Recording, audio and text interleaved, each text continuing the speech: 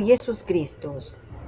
Queridos hermanos, hoy les traigo un comentario muy jugoso que eh, han dejado en el canal Maranata en YouTube, donde subimos los, los videos, que se refiere al último video en donde hemos tratado el tema de la Santa Misa, la recta celebración, eh, dejando de lado el unacum, es decir, en unión con el Papa fulano. Eh, así que lo voy a leer, lo voy a leer completo y luego hacemos el, el comentario de cada partecita.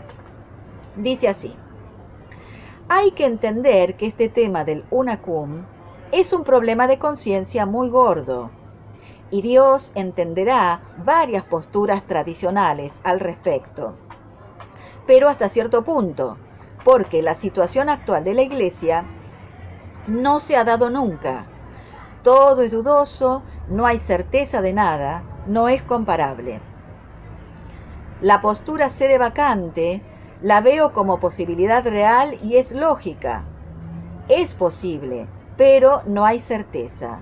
Dios entenderá y pasará la mano o correrá un tupido velo. Hasta ahí entonces el comentario y vamos a desmenuzarlo. Primero, la primera afirmación que dice, hay que entender que este tema del unacum es un problema de conciencia muy gordo, dice el tema, el, el comentario. Sí es un problema de conciencia muy serio y la verdad nos alegramos, demos gracias a Dios, hermanos, de que todavía siga siendo un problema de conciencia muy serio. Porque estamos hablando de que entonces hay conciencias vivas, no están muertas, no se plantearían entonces ningún problema. Y mm, es necesario aclarar el verdadero significado de este unacum. Porque de acuerdo con lo que la Iglesia nos enseñó siempre en sus documentos, el, el decir el unacum en unión con el Papa Mengano, fulano y el obispo, significa que se está reconociendo como autoridad católica y se está reconociendo a la doctrina emanada por esas supuestas autoridades católicas como católicas se las reconoce esa doctrina como católica. Y por lo tanto el sacerdote celebrante dice estar unido a ellos para que se trate de una misa católica. Pero mm, eh, lo que sucede es que muchos, lamentablemente, para tratar de evadir esta responsabilidad, han hecho creer a los fieles que al decir en unión con, lo único que están haciendo es que están rezando por esta persona el Papa o por el obispo que fuere, eh, para que se convierta y que eso significa que ponen el nombre en la misa para rezar por ellos. Y no es así. Lo que es real es que, según lo que la Iglesia enseñó siempre en sus documentos, el unacum significa que se reconoce autoridad católica al Papa reinante, al obispo, y que la doctrina que se emana de ellos es católica y por lo tanto el sacerdote está en unión con ellos. Esto es terrible porque lamentablemente no se puede aplicar en estas circunstancias. Eh, los sacerdotes deberían hacer uso de la disposición que dejó San Pío X para tiempos de sede vacante, si cuando no hay autoridad, que esté autoridad católica en este caso, ¿no es cierto? Entonces hay que saltear ese unacum y pasar directamente a la parte del canon donde dice en unión con los que profesan la fe católica y apostólica. Eso es lo que se debería hacer. Eh, mucho más eh, informes, más datos van a encontrar ustedes en las conferencias magníficas que está subiendo en YouTube el padre Ramiro Rivas en España. Y que en el canal que hemos abierto en Telegram, arroba maranata 2021, eh, las estamos compartiendo. ¿Mm? Fíjense, porque en este canal de Telegram, arroba maranata 2021, eh, van a encontrar mucho material eh, porque todo esto que está sucediendo intraeclesialmente tiene mucha ligazón, está en íntima unión con el tema del nuevo orden mundial. Entonces ahí van a encontrar mucho material. Arroba Maranata 2021 en Telegram. Vamos a la segunda parte de, esta, de este comentario.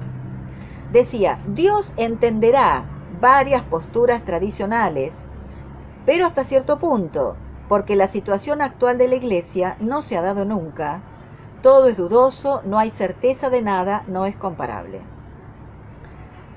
Y mm, la verdad es que debemos preguntarnos, ¿quién es el que tiene que entender? ¿Es Dios, nuestro Señor, que ya enseñó todo? ¿O no seremos más bien nosotros los que debemos entender y poner en práctica lo que el Señor nos enseñó y los apóstoles nos han transmitido? Recuerden ustedes la parábola del mayordomo infiel, las normas apostólicas, lo que los apóstoles han mandado, eh, los padres apostólicos, los documentos de la iglesia antigua. Todo eso lo hemos acercado en el video que se llama No más juegos de palabras, la trampa para que no nos diéramos cuenta. Hermanos, de lo que se trata, ni más ni menos, es de que se está pisoteando el derecho divino y se lo reemplaza o se lo oculta en doctrinas de hombres. Es lo que el Señor nos mm, dice en el Evangelio de San Mateo, capítulo 15, versículos del 1 al 20. En vano me rinden culto, porque han reemplazado los mandamientos de Dios por doctrinas de hombres.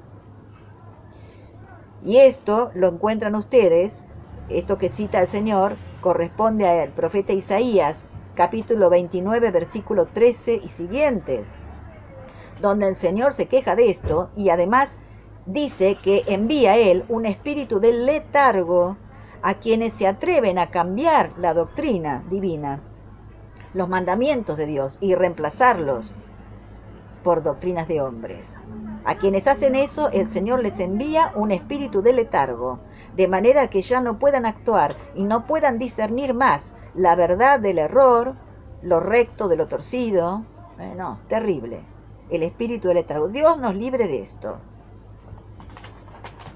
Sigo con el comentario. Dice, la situación actual de la iglesia no se ha dado nunca, es dudoso, no hay certeza de nada. Pues no es tan así tampoco. ¿Por qué?